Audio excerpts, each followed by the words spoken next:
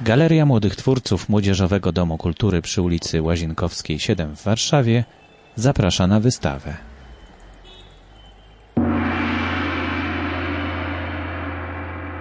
Dzień dobry, nazywam się Anna Feja. A ja Stanisława Korbińska. Mamy zaszczyt zaprosić Państwa na wystawę poplenerową pod tytułem Tarasy Malarskie 2016.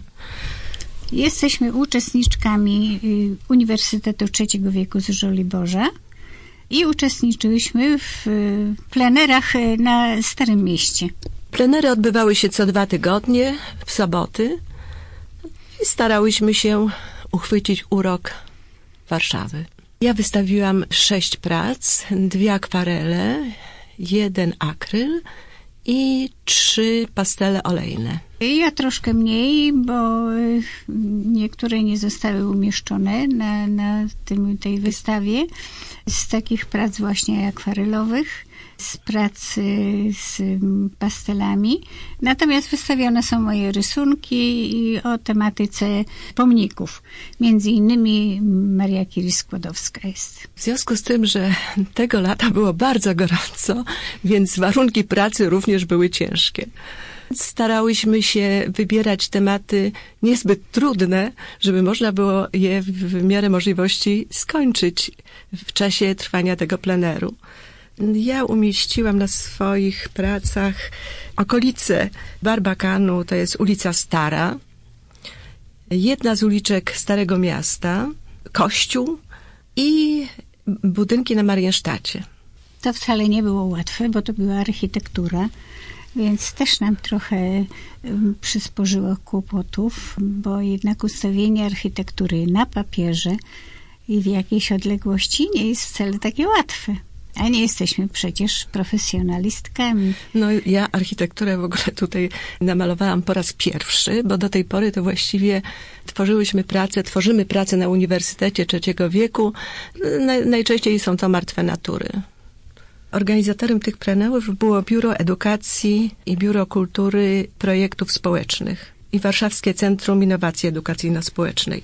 Uczęszczamy na pierwszy Żoliborski Uniwersytet Trzeciego Wieku, który powstał w 2009 roku.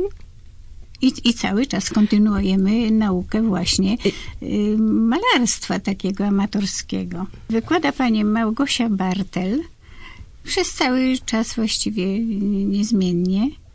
Spotykamy się w Szkole Nauk artystycznych na Felińskiego, bo tam jest pracownia tej szkoły i korzystamy ze sztaluk do wykonywania naszych prac. Ze sztaluk tej, tej szkoły. Całe wyposażenie zresztą jest. Spotykamy się raz w tygodniu w godzinach popołudniowych, kiedy już nie ma zajęć lekcyjnych w szkole i wolna jest po prostu pracownia plastyczna. Zajęcia trwają od półtorej do dwóch godzin. Należy się zgłosić do naszego sekretariatu w szkole przy ulicy Felińskiego i tam po prostu zapisać się i bardzo chętnie przyjmą. Zapraszamy. Jest bardzo miła grupa, znamy się już od lat i bardzo lubimy się spotykać. Już przez tyle lat to, to jesteśmy po prostu zaprzyjaźnione wręcz. A poza tym Uniwersytet Trzeciego Wieku, poza zajęciami takimi malarskimi, jak, jak my uprawiamy, również ma inne zajęcia. Język angielski, jeszcze powiedz, jesteś bardziej zorientowana, jakie tam jeszcze no, inne Dzięki sprawy. uniwersytetowi zaczęłam się uczyć języka angielskiego. No już... W związku z tym jestem z siebie dumna. I są wykłady też. Bardzo, bardzo ciekawe, ciekawe, wykłady, tak. I są, jest bardzo dużo wycieczek, bardzo fajnych, organizowanych. Są wykłady z kultury, gimnastyka. Och, nawet chór Tai jest. chi, chór, no Nawet tak chór, dużo. bardzo du- duży zakres. No właściwie to chyba e, wszystko to, co może interesować e, osoby już w podeszłym wieku, które już nie mają takich codziennych dziecięcych obowiązków i mogą poświęcić trochę sobie czasu. No, Zachęcamy wszystkie starsze panie, żeby zajęły się tym, co je interesuje. Zresztą nie tylko panie i panów również.